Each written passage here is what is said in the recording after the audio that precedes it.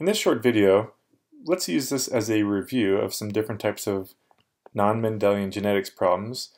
Uh, we've got three of those, and then one Mendelian style genetics problems, that's a basic dominant recessive style uh, that was a dihybrid cross. So we have three non-Mendelian genetics problems here, this first one, second, and third.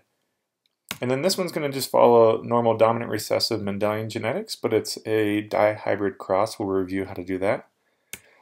What I suggest you do is pause your video, work this out on pencil and paper, and then I'm going to um, show how the problem is solved. I'm going to write on the screen and record it kind of in fast time uh, motion uh, for you to review and check your own work. All right, here we go. Go ahead and pause your screen, work this out, and then when you're ready, go ahead and hit play.